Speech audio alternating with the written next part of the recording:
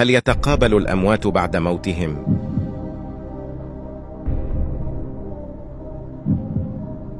الجواب هو نعم تتقابل أرواح المؤمنين هل يتكلم الأموات مع بعضهم البعض؟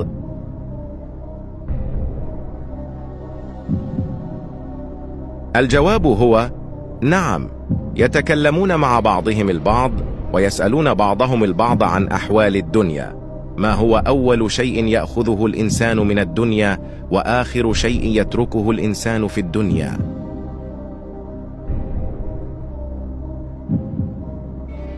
الجواب هو أول شيء يأخذه الإنسان من الدنيا هو شهيق هواء وآخر شيء يتركه هو زفير هواء ما الحكمة من ذلك؟